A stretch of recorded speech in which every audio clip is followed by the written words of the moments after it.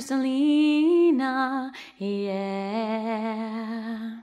One happy birthday dot com.